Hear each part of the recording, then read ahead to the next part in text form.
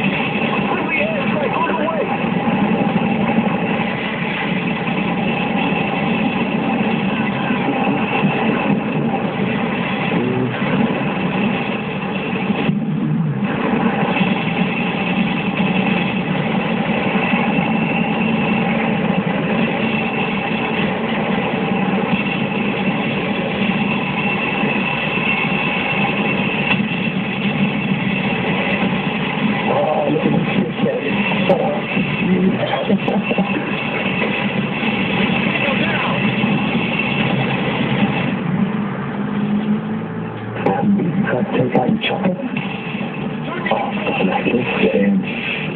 Bye bye,